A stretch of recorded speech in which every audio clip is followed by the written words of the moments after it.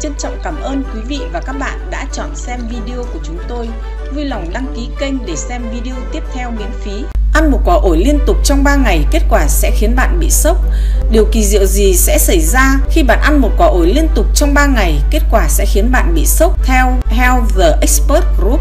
Hiện nay người ta chú ý nhiều hơn đến thực phẩm họ ăn và lượng calo hấp thụ vì nhiều bệnh tật xuất phát từ thói quen ăn uống không lành mạnh Ăn gì, uống gì để khỏe mạnh luôn là câu hỏi mà nhiều người quan tâm. Có một số loại trái cây mà nếu ăn hàng ngày sẽ đem lại lợi ích tuyệt vời cho sức khỏe. Ổi là một loại trái cây cực kỳ quen thuộc với người Việt Nam. Người ta thích ăn ổi bởi vị ngon, ngọt, khó quên của nó.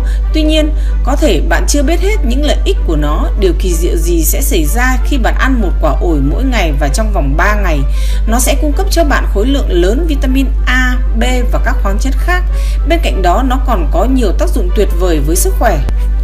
Dưới đây là 10 điều kỳ diệu sẽ xảy ra nếu bạn bắt đầu ăn một quả ổi mỗi ngày. 1. Hỗ trợ hệ miễn dịch.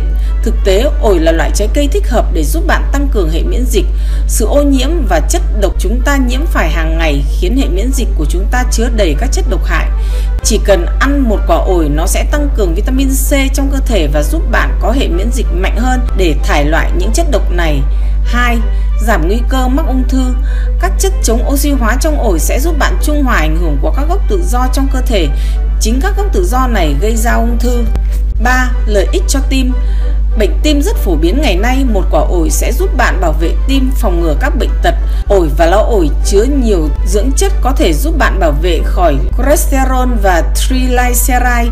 Ổi cũng có khả năng giảm glucose huyết trong cơ thể giúp bạn kiểm soát mức đường huyết.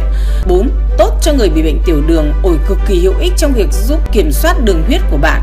Nước ổi ép sẽ là sự lựa chọn hoàn hảo cho bạn. Bạn cũng có thể ăn ổi hoặc làm trà từ ổi. Nó sẽ giúp bạn hấp thu chất xơ tốt hơn và cũng như kiểm soát đường huyết. 5. Tốt cho răng miệng. Ổi có khả năng chống mảng bám và ăn ổi sẽ giúp bạn loại bỏ vi khuẩn gây mảng bám trong răng. Nó cũng sẽ giúp bạn chống lại đau răng hiệu quả. 6. Cải thiện thị lực. Để cải thiện thị lực, bạn cần vitamin A mà ổi là nguồn vitamin A tuyệt vời. Bạn giảm được nguy cơ mù lòa, đồng thời ổi cũng sẽ giúp bạn bảo vệ các tế bào võng mạc. 7. Hỗ trợ da Ổi giàu các chất chống oxy hóa và chúng có thể giúp bạn đánh bay các nếp nhăn và chống lão hóa da. 8.